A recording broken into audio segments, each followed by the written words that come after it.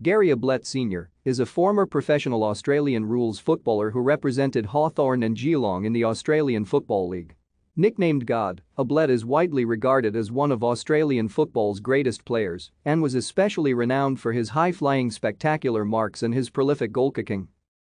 After playing for several country teams in and around his hometown of Drouin, Victoria, Ablett was recruited by Hawthorn and made his Victorian Football League debut in 1982.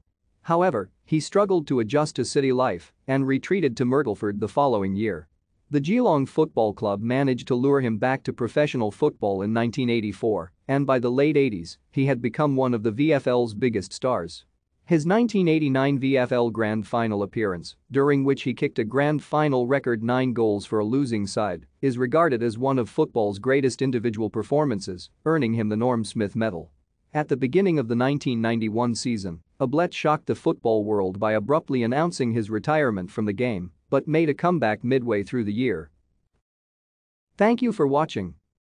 Like and subscribe if you would like to view more of our videos. Have a nice day.